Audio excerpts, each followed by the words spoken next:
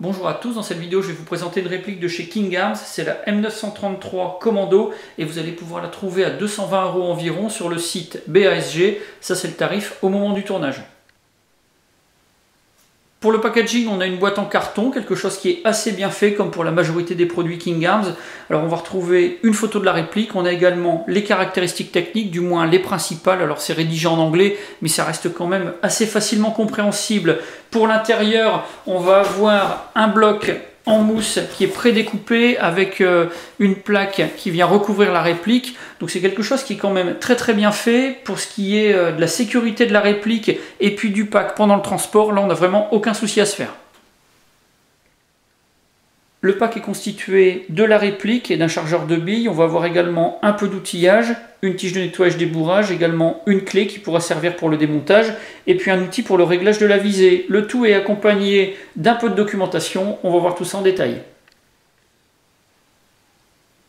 Le manuel d'utilisation se présente sous la forme de deux documents. Le premier, c'est un manuel concernant les M4 et M16 de la série Ultra Grade de chez King Arms. Le second est vraiment très spécifique aux manipulations du M933 Commando. Donc tout ça, ça va vous permettre de comprendre vraiment très facilement comment utiliser, manipuler et entretenir votre réplique. A noter que le premier document est rédigé uniquement en anglais. Le second, lui, il est rédigé en plusieurs langues, dont le français. Alors à chaque fois, on va avoir des schémas, des photos, c'est vraiment très bien fait et comme je le disais, très facile à comprendre. Alors concernant cette réplique, elle fait partie de la gamme Ultra Grade Nylon Fiber. C'est une gamme qui est un peu particulière chez King Arms, puisque là, pour euh, la fabrication, on a l'emploi de fibres de nylon qui vient remplacer le métal sur la partie principale de la réplique, à savoir le corps. Donc le gros avantage, c'est qu'on va gagner en poids et puis également euh, en résistance, puisque la fibre de nylon est plus résistante que le métal qui est utilisé notamment euh, pour tout ce qui est alliage d'aluminium. Donc ça c'est quand même quelque chose d'assez intéressant. Alors pour la puissance on est sur du 1 joule 2, d'après le constructeur on sera 360 fps avec des billes de 0,20 grammes, mais euh, d'après ce que j'ai pu voir sur certains forums, d'après euh, des reviews écrites et puis également des reviews sur YouTube, on est quand même plus proche des 390-394 fps, donc on a quand même une sacrée différence par rapport à ce que le constructeur veut bien dévoiler. Bien sûr une réplique qui est un AEG qui fonctionne avec des batteries. On a le corps, comme je disais, qui est fabriqué en fibre de nylon. Pour le reste, on est sur quelque chose qui est assez proche de l'arme originale. On a du polymère, bien sûr, pour la poignée, pour la crosse. Euh, pour euh, le garde-main, mais pour le reste c'est du métal. Alors c'est un alliage de métal à chaque fois, mais ça reste quand même assez réaliste. Euh, le carry handle qui ici est détachable, lui aussi est fabriqué pour la plus grande partie en fibre de nylon. Alors pour le poids, on est à 2350 grammes, la longueur 67 cm cross replié, 75 cross déplié. Et puis euh, pour la longueur du canon, on est à 26,7 cm. Le moteur est une version avec axe long. Et puis on a une gearbox qui est renforcée. Donc tout ça, ça nous laisse présager quand même de très bonnes choses pour cette réplique.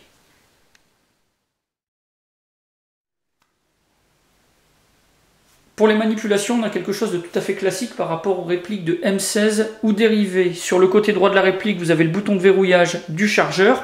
Quand vous le pressez, vous déverrouillez le chargeur, vous pouvez le désengager. Sur le côté gauche, vous allez trouver le sélecteur de tir à trois positions, sécurité à l'avant, semi sur le haut et full auto à l'arrière. Donc là, vous allez pouvoir tirer en rafale. La crosse est télescopique, vous avez un petit loquet qui vous permet de la verrouiller ou de la déverrouiller. Donc quand vous pressez le loquet, vous pouvez la faire coulisser et la régler à votre morphologie.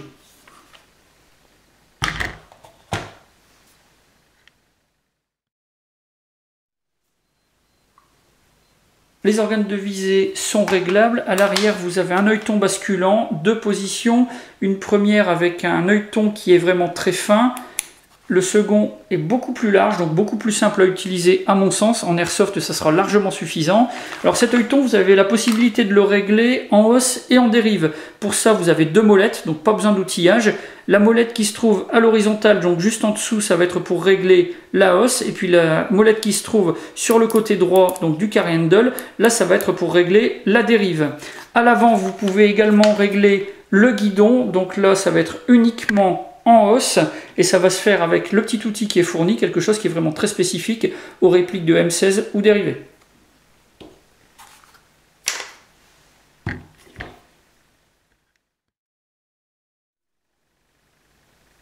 Le hop-up est réglable également. La molette de réglage se trouve derrière la fenêtre d'éjection, dans la partie avant. Alors pour l'ouvrir, il va falloir tirer le levier d'armement, ça va permettre d'ouvrir la fenêtre d'éjection et puis également de reculer la fausse culasse. Alors elle ne se bloque pas en position avant, donc il va falloir laisser le levier d'armement vers l'arrière pour pouvoir manipuler la petite roue qui se trouve là juste au-dessus de mon pouce. Ça, ça va vous permettre d'affiner vos réglages et puis d'améliorer la trajectoire de vos billes.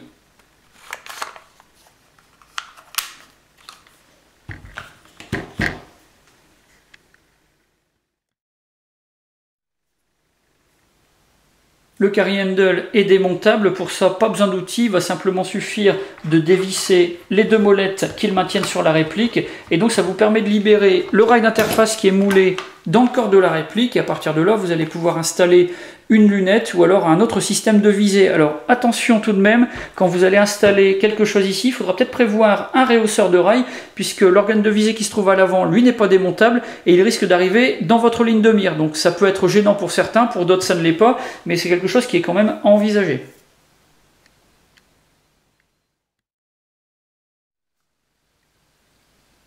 Les marquages sont vraiment très réalistes, comme la réplique est fabriquée sous licence Colt, ils sont placés aux bons endroits et puis ils sont vraiment conformes aux armes originales. Alors on a une petite différence quand même, ici le calibre s'est précisé 6 mm, mais pour le reste, ça reste totalement réaliste. Alors j'ai pas réussi à déterminer si c'était gravé dans les pièces ou alors si c'était moulé au moment de leur fabrication. C'est fabriqué, enfin c'est marqué en creux et puis euh, bah, ça fait parfaitement illusion. On a une légère trace qui vient cerner les parties qui sont gravées, c'est visible vraiment de très près quand on regarde en lumière rasante, sinon ça passe vraiment inaperçu. D'un point de vue général, la réplique est vraiment très très bien finie. Là, on est sur les standards de qualité habituels de chez King Arms qui sont déjà assez élevés.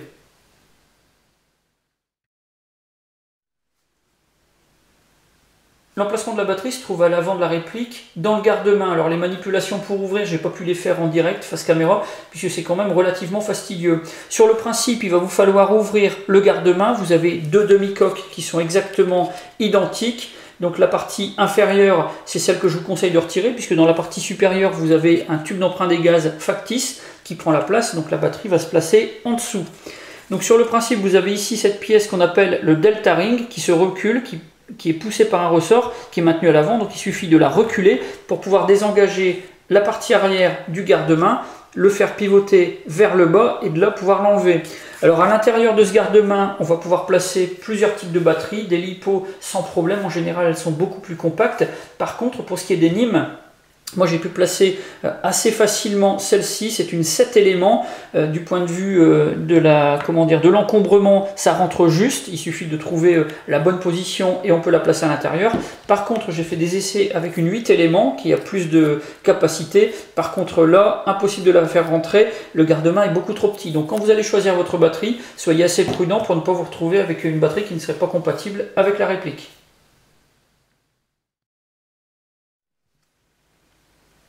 La réplique est fournie avec une clé qui est vraiment spécifique au M16 ou dérivé. Son utilisation n'est pas expliquée dans la notice. Ça, c'est quand même un petit peu dommage puisque bah, ceux qui ne connaissent pas euh, vont quand même se gratter la tête avant de trouver comment s'en servir. Alors, cette partie-ci, c'est pour démonter le canon du corps de la réplique. Vous avez ici deux encoches, vous avez deux crans à l'intérieur de cette couronne et donc ça vous permet de pouvoir desserrer le canon et de le démonter. Vous avez le sens de rotation qui est précisé pour serrer ou desserrer, donc vous n'avez pas de risque de vous tromper. L'autre partie c'est pour desserrer le cache-flamme. Alors attention quand vous allez devoir euh, démonter, vous avez avant une petite vis ici de verrouillage, il va falloir l'enlever avant de démonter le cache-flamme. Là on a également les sens de rotation qui sont précisés, donc là aussi on n'a pas de risque de se tromper.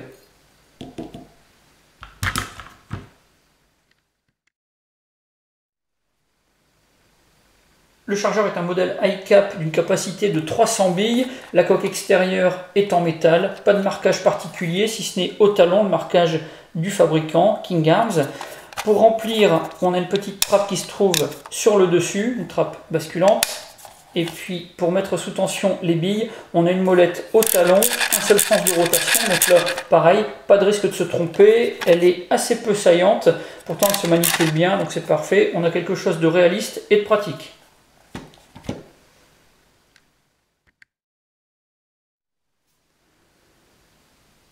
Pour cette réplique, j'ai un avis qui est vraiment très positif. On a quelque chose de léger et de résistant. Pour le corps, on a de la fibre de nylon qui a été utilisée. Donc euh, on gagne sur le poids, on gagne également sur la solidité, puisque c'est quelque chose qui est réputé pour être plus solide que les alliages habituels d'aluminium. Donc ça c'est vraiment très bien. Pour l'esthétique, impeccable. On a de belles finitions. King Arms était à la hauteur de sa réputation. Et puis on a quelque chose bah, qui étant fabriqué sous licence est vraiment conforme au modèle original. On a de la portée, de la précision, donc ça c'est très bien. Et puis ben, un bon rapport qualité-prix, puisque 220 euros, c'est quand même euh, un tarif habituel par rapport à ce type de réplique. Alors du point de vue des points négatifs, je vais en relever un principalement, c'est la vitesse des billes pour la réplique en sortie de boîte. On est à 360 fps annoncé, dans la réalité on est sur les 390 394, c'est beaucoup trop pour une réplique euh, qui va être utilisée pour jouer. Si on veut faire du tir sur cible, des parcours de tir ou autre, ça sera vraiment parfait. Mais euh, pour euh, du tir sur les copains pendant des parties d'airsoft, là, ça va pas être vraiment possible. Donc là, un downgrade va être quasiment obligatoire pour pouvoir se servir de la réplique. C'est un modèle court, donc automatiquement, on va plus le destiner à du CQB, donc il faudrait plutôt tomber dans les 330. Ça pourrait être une vitesse vraiment parfaitement adaptée pour ça. Sinon, un léger jeu dans la crosse, mais ça c'est quelque chose qu'on retrouve sur la majorité de ce type de crosse, des crosses télescopiques. Ça c'est quelque chose qui se corrige aussi facilement avec euh, des petites cales en carton euh, qu'on va insérer dans la rainure. Euh, ça se fait en moins d'un quart d'heure, donc ça on peut passer outre ce petit désagrément.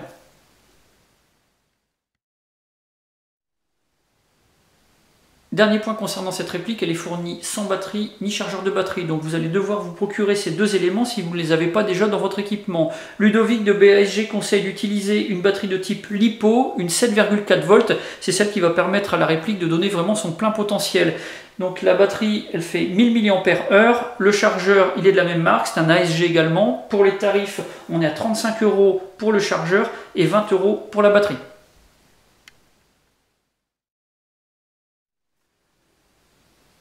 Voilà pour la présentation de cette réplique de chez King Arms, la M933 Commando. Si vous avez des questions, eh c'est comme d'habitude, vous avez la partie commentaires et la boîte de réception. Et puis dans la description de la vidéo, je vous mets tous les liens du site BASG et puis également des fiches descriptives de la réplique, de la batterie et puis du chargeur. Ça vous permettra d'aller visiter le site et puis de retrouver les fiches descriptives beaucoup plus facilement. J'en ai maintenant terminé et je vous dis à bientôt pour d'autres vidéos.